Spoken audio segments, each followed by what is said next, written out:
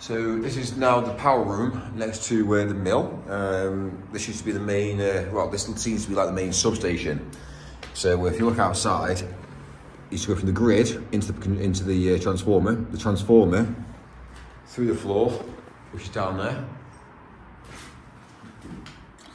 Through the floor, which is down there, there's a feed there, and then there's also a feed here. So there's two feeds coming in, and then this will obviously be three lives, and also your three lives over there as well. And uh, yeah, this is the, uh, obviously, this is the main unit that pulls the feeds in.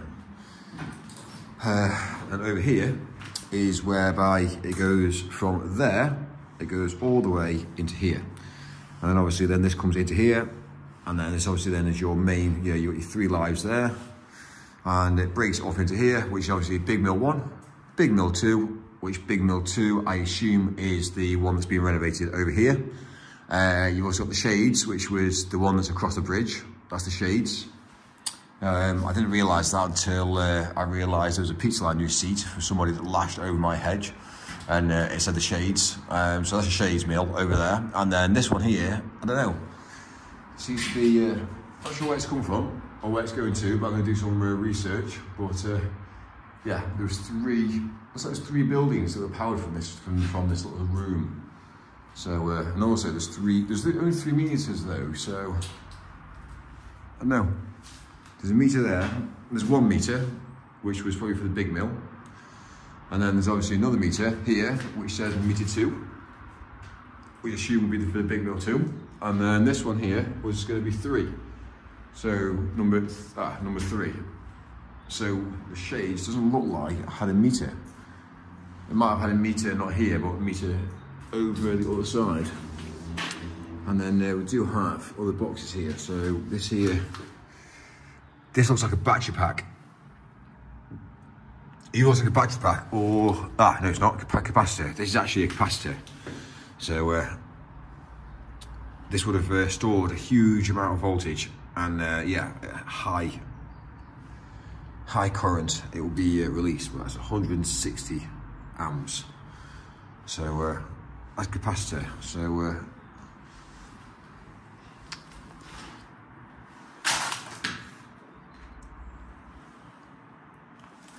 so here's all the buzz bars. Buzz bar cable.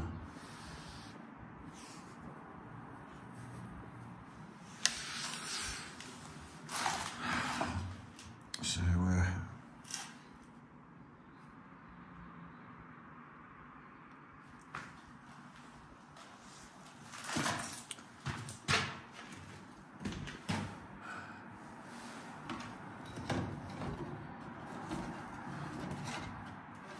caution, point of isolation.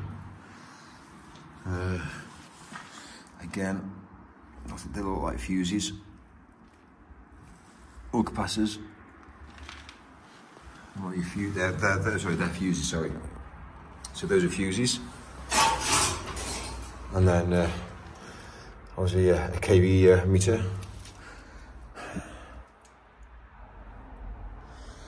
So this would have been all the monitoring. This would be monitoring and uh, energy services. Great. So it looks like the energy services was uh, a company called E.ON.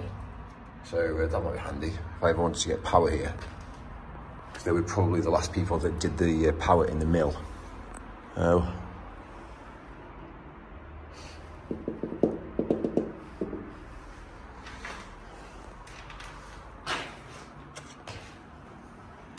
That's a tool, that's a tool for uh, obviously uh, isolation.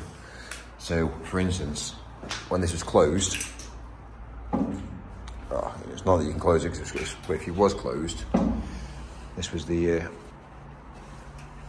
the meter again. That's 80 amps. Might do a bit of googling actually, trying to find out what some of these names actually mean. And why they were fed to and what was powered from all. But uh, there's the uh, meters for the uh, amp, uh, amps and uh, kilowatts. This isolation switch is read it.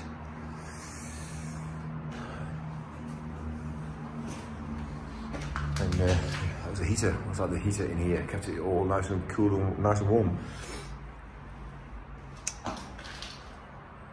So, uh,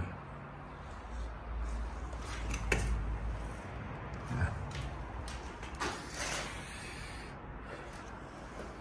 So yeah, that's the power room. So uh, for what people asked me for was, uh, can, I have, can I have some information about the power room? Well, that's it. There's not really a lot in here at the minute. Obviously all this needs to be ripped out and cleaned out.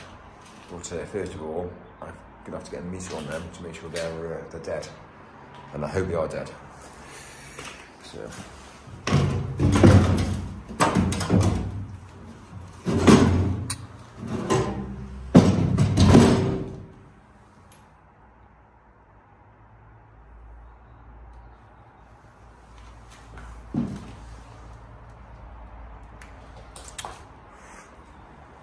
So yeah.